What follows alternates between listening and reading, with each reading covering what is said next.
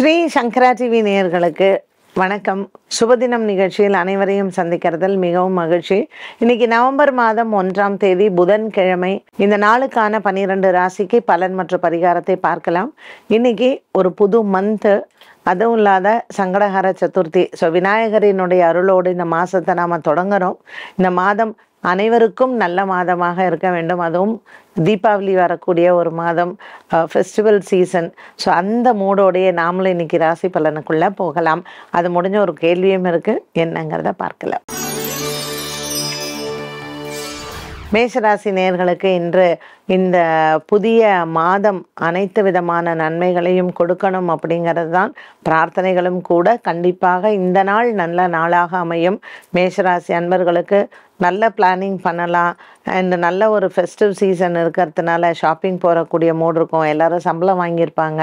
So இந்த நாளில் இன்னைக்கு என்னென்ன மாதிரியான விஷயங்களுக்கு நம்ம வந்து இந்த மாதத்தை நாம் கடைபிடிக்கலாம் அப்படிங்கிறதையும் நாம் பார்க்கலாம். இந்த மேஷராசி அன்பர்களுக்கு இன்றைய நாளில் பெரியவர்களின் ஆசீர்வாதங்கள் உண்டு. ஒரு ஆன்மீகத்தில் தலை சிறந்தவர்களை சந்திக்கக்கூடிய வாய்ப்புகளும் கிடைக்கும். ஸோ ஒரு குருவினுடைய அனுகிரகத்தோடு இந்த நாளை தொடங்கும் பொழுது மேஷராசி அன்பர்களுக்கு இந்த நாள் நல்ல நாளாகவே அமைகிறது. கருடனை வணங்கினால் என்று உங்களுக்கு நன்மைகள் நடக்கும். ரிஷபராசி அன்பர்கள் சந்திரனின் சஞ்சாரம் ரிஷபராசியில் இருப்பது மனதிற்கு இனிமையான நாளாக அமைகிறது. நாலாம் இடத்தில் சுக்கிரனும் ஐந்தாம் இடத்தில் கேத்துவும் இருப்பது சகோதர சகோதரிகள் மற்றும் உங்கள் குழந்தைகளிடத்தில் சற்று கருத்து வேறுபாடுகள் வரலாம். இருந்த போதிலும் இன்றைய நாள் உங்களுக்கு நல்ல ஒரு உயர்வை தரக்கூடியதாகவே அமையும். நல்ல ஒரு மனதிற்கு நிறைவான நாளாக இருக்கும்.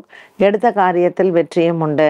இன்று ரிஷபராசி அன்பர்களுக்கு பிரிந்தவர்களை ஒன்று சேருவதும் மற்றும் நீண்ட நாட்களுக்கு பிறகு சந்தித்தவர்களின் மூலமாக உறவினர்களின் மூலமாக நன்மைகள் நடக்கும்.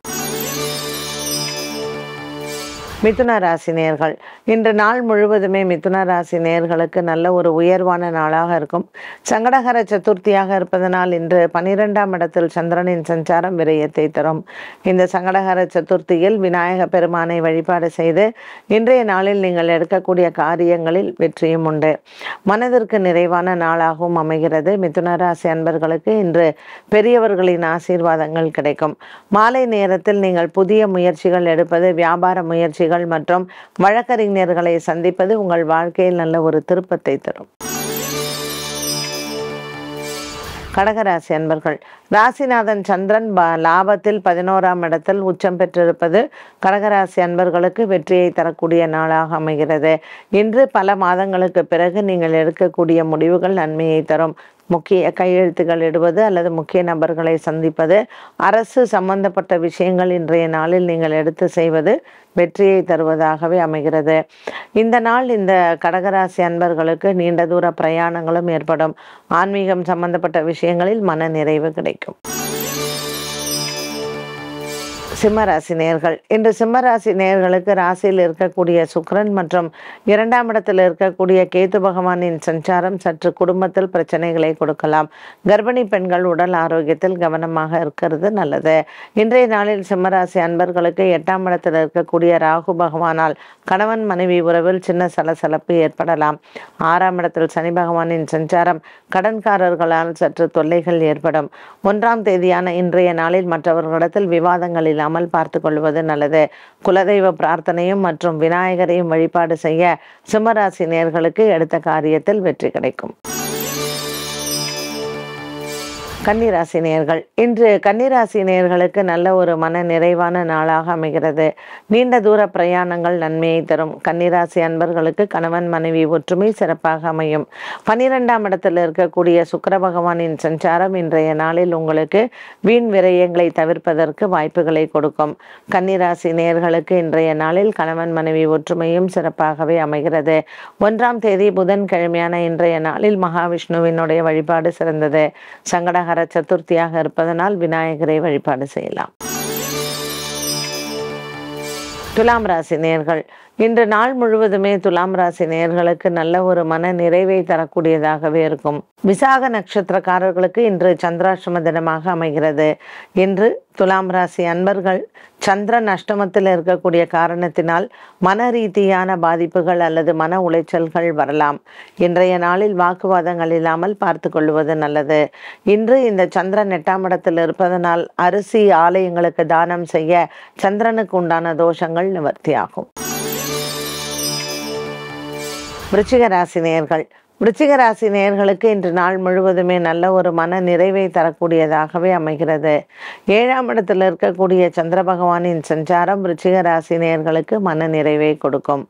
பல மாதங்களாகவே இருந்து வந்த மன கஷ்டங்கள் அல்லது விருச்சிக ராசி கணவன் மனைவியினால் ஏற்படக்கூடிய சில பிரச்சனைகளுக்கு இன்றைய நாளில் நல்ல தீர்வுகள் உண்டு. தன லாபங்கள் நிறைந்த நாளாக இருப்பதனால் இன்று மன நிறைவும் கிடைக்கும். வரவேண்டிய பண பாக்கிகள் சமயத்தில் வந்து சேரும். விருச்சிக ராசி நேர்களுக்கு இன்றைய நாளில் விநாயகரை வழிபாடு செய்யலாம். தனுசு புதிய வேலை முயற்சியில் வெற்றி கிடைக்கும். இந்த வேலை வாய்ப்புகளால் நீங்கள் எடுக்கக்கூடிய முயற்சிகளில் வெற்றி கிடைக்கும். இந்த தனுசு ராசி அன்பர்களுக்கு பத்தாம் இடத்தில் இருக்கக்கூடிய கேத்து பகவானின் சஞ்சாரம் இன்று அலைச்சல்களையும் குறைப்பதற்கு வழி கிடைக்கும். தனுசு ராசி அன்பர்களுக்கு இன்றைய நாளில் ஆறாம் இடத்தில் சந்திர பகவானின் சஞ்சாரம் சற்று செலவுகளை கொடுக்கலாம். தனுசு ராசி நேயர்களுக்கு காதல் வாழ்க்கையில் நல்ல வெற்றிகளும் திருமண யோகங்களும் ஒரு சிலருக்கு கைகூடும். மகர ராசி என்பர்கள் ராசியில் இருக்கக்கூடிய சனி பகவான் மற்றும் எட்டாம் இடத்தில் இருக்கக்கூடிய சுக்ரன் நாலாம் இடத்தில் இருக்கக்கூடிய குரு ஐந்தாம் இடத்தில் சந்திரன். இந்த கிரக சஞ்சாரங்கள் மகர ராசி நேர்களுக்கு நல்ல ஒரு உயர்வான நாளாக கொடுக்கும். இன்றைய நாளில் மகர ராசி அன்பர்களுக்கு எடுத்த காரியத்தில் வெற்றியும் உண்டு. மனதிற்கு திருப்தியான நாளாக இன்று அமைகிறது. இன்றைய நாளில் மகர ராசி அன்பர்களுக்கு வீண் விரயங்களும் வீண் செலவுகளும் குறையும்.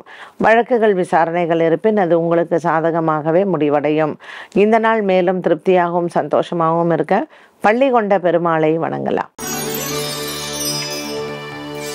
கும்பராசி நேயர்கள் இன்று நாள் முழுவதுமே கும்பராசி நேயர்களுக்கு நல்ல ஒரு கணவன் மனைவியின் அந்யோன்யங்கள் அதிகரிக்கும். குழந்தைகளால் ஏற்படக்கூடிய தொல்லைகளுக்கு நல்ல ஒரு பலனும் மற்றும் குழந்தைகளால் ஏற்படக்கூடிய பிரச்சனைகளுக்கு முடிவும் கிடைக்கும்.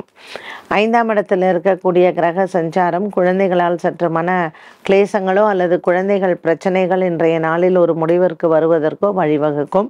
கும்பராசி அன்பர்களுக்கு இன்று சனி பகவானால் விரயங்கள் ஏற்படும்.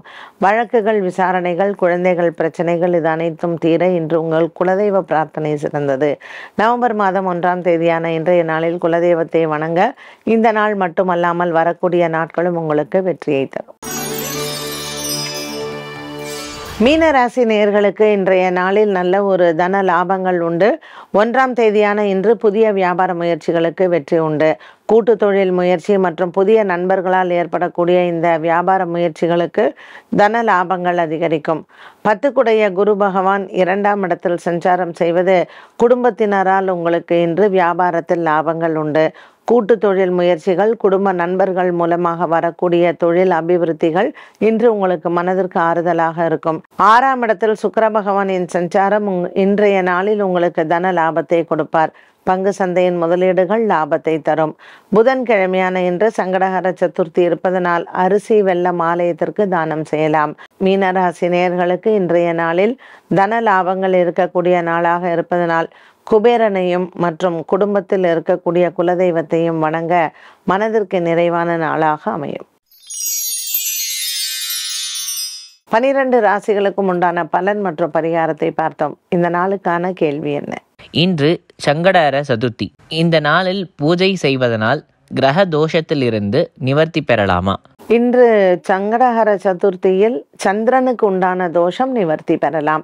ஏன்னா சங்கடஹர சதுர்த்தி விரதமே சந்திரனுக்கு உண்டானது தான் ஸோ சந்திர பகவானினுடைய நாலாவது நாள் அந்த தேய்பிரை சந்திரன்னு சொல்கிறோம் இல்லையா? அந்த தேய்பிரை சந்திரனுக்கு சாபம் தீர்த்த நாள். விநாயகர் வந்து அந்த சாபத்தை தீர்த்த நாள் சந்திரன் வந்து தபஸ் பண்ணி விநாயகரிடத்தில் அவர் பிரார்த்தனை செய்து அவருக்கு அந்த சாபம் தீர்ந்ததுனால இன்னைக்கு சந்திரனுக்கு உண்டான தோஷத்தை நிவர்த்தி செய்ய சங்கடகர சதுர்த்தி.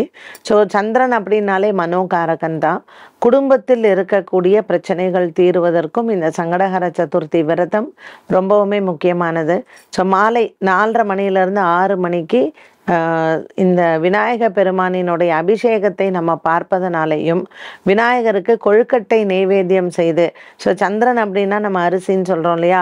ஸோ அரிசி மாவு வெள்ளை நிறத்தில் இருக்கக்கூடிய அரிசி மாவும் குருவுக்கு உத்தமமான அந்த வெள்ளம். அதனால இந்த அரிசி வெள்ளம் சேர்ந்தாலே குரு சந்திர யோகம்னு சொல்லுவோம்.